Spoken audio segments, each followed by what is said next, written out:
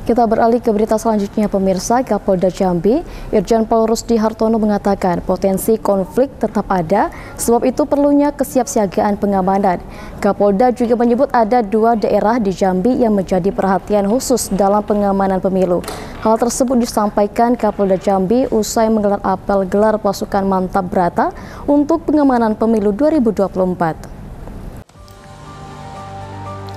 Kepolisian daerah Jambi menggelar apel pasukan pengamanan pemilu 2024 di halaman kantor Gubernur Jambi Selasa 17 Oktober.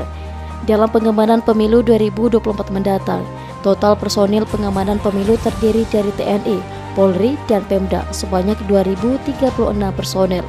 Dan jika kekurangan, Mabes Polri juga menyiapkan kekuatan jika Polda Jambi membutuhkan. Dalam simulasi yang diikuti 2000 personil tersebut, memperagakan mulai dari tahapan pencoblosan, pengamanan surat suara, pengamanan kantor Komisi Pemilihan Umum, serta pengamanan di lapangan jika terjadi gejolak yang melibatkan banyak massa.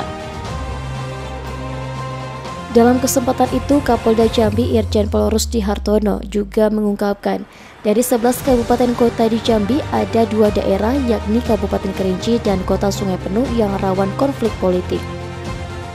Hal tersebut dilihat dari sejarah konflik yang pernah terjadi setiap perhelatan pemilu, baik pemilihan legislatif maupun pemilihan kepala daerah. Namun daerah lainnya, kata Kapolda, tetap juga jadi perhatian. Kita lihat dari potensi konflik yang pernah dari sejarah konflik.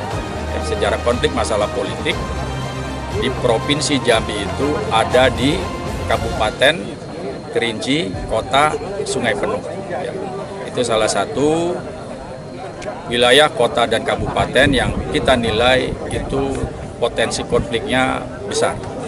Walaupun demikian, kabupaten kota lain tetap menjadi atensi juga. Artinya kita tidak menganggap remeh. Semua kita perlakukan, tapi untuk Kabupaten Kerinci dan Kota Sungai Penuh mendapat perhatian yang lebih. Tapi mudah-mudahan bisa kita selesaikan. Ya.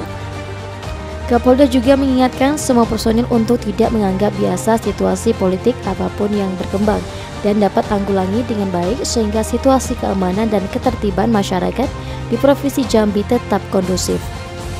Rian Chen Jack TV melaporkan.